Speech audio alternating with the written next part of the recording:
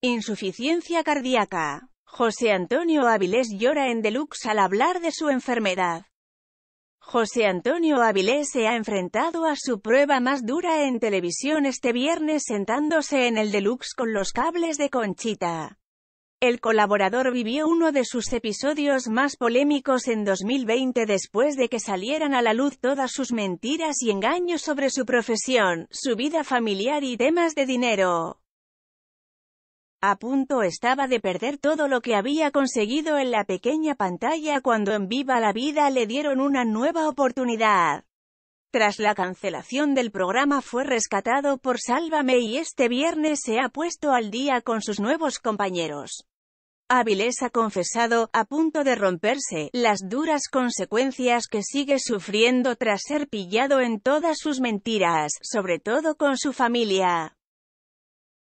José Antonio Avilés ha reconocido que fingió la muerte de su abuela materna varias veces para salir airoso de algún apuro económico y en el que debía dinero. Ha sido su mentira más polémica por el componente emocional que tiene y es algo que dos años después le sigue persiguiendo. Sí, es una parte de mi vida de la que no me siento orgulloso. Cuando os reís al escuchar la pregunta o me hacéis un comentario en coña no puedo recriminar nada porque es algo que yo dije pero es algo que me ha avergonzado y me avergüenza mucho, ha empezado contado el de Córdoba con los ojos brillosos. Avilés, roto, habla por primera vez de sus adicciones. José Antonio Avilés ha entonado el mea culpa por sus mentiras y ha dicho varias veces que el único culpable de todo lo que le ha pasado y de la espiral de engaños y estafas en la que estaba metido es el mismo. Sí, he sido un mentiroso patológico. El único responsable de todos los escándalos que ha habido en mi vida soy yo, y eso no lo puedo negar ni culpar a nadie de tener la vida de mierda que he llevado. Entiendo la gente que no se ha creído mi perdón. Con el tiempo maduro la imagen que he dado y que doy, pero hay una etapa de mi vida que no he querido contar, ha explicado José Antonio Avilés que ha terminado confesando. Hay una etapa de mi vida que no he querido contar. Con 19 años me enamoro y tengo una relación con una persona de 45 años. Fue una situación complicada porque no era una relación sana pero no por la diferencia de edad sino por lo que hay en la relación. Al tiempo descubro que tiene ciertas adicciones y yo me meto ahí. Quiero llevar una vida de un tío con una edad que gana dinero y quiero tener dinero para tener también esa vida. Y a partir de ahí comienzan las mentiras, he consumido eso es así, ha explicado llorando. No te sé decir si mi consumo fue preocupante o no, pero me llevó a necesitar generar dinero para llevar el tren de vida que él llevaba, ha añadido. Kiko Matamoros le ha arropado, hay mucho más que no cuenta. Él tiene problemas de autoestima, de seguridad y eso viene desde pequeñito. Intenta trasladar una imagen que no le corresponde a base de mentiras. Además, el colaborador ha comentado que Avilés no se puede considerar un adicto por el nivel de consumo que tuvo en esa etapa de su vida y que ya superó.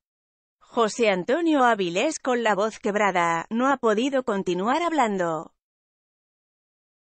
Confiesa las consecuencias familiares que sufre tras su mentira más polémica. Al comienzo de su entrevista, José Antonio Avilés ha compartido con sus compañeros los problemas que sigue sufriendo a causa de sus mentiras y estafas y ha asumido que es un dolor que le acompañará de por vida.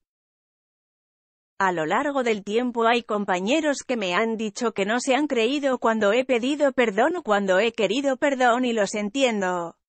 Es una conversación que tengo con amigos míos. Me avergonzó mucho volver a ver a parte de mi familia después de que esto estallara, ir a una comida un sábado o un domingo, ha explicado. José Antonio Avilés ha recordado, a punto de romper a llorar, a la conversación que tuvo con su madre cuando ésta se enteró mientras él estaba en Supervivientes que usaba la muerte de su abuela para mentir a otras personas y no enfrentarse a sus deudas. Mi madre cuando se entera de todo esto ya ha sucedido tengo una conversación con ella.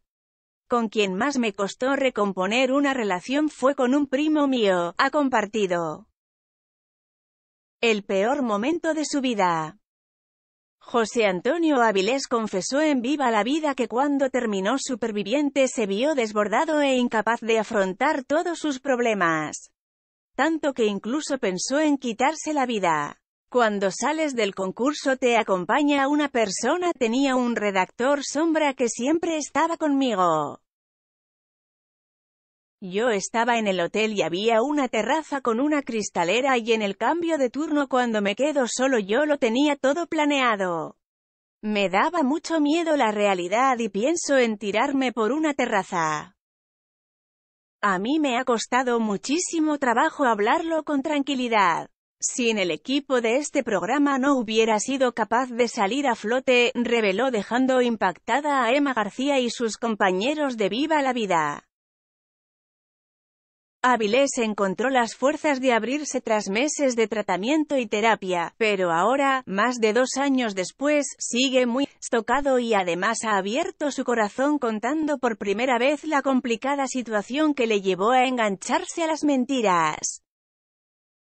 Thank you.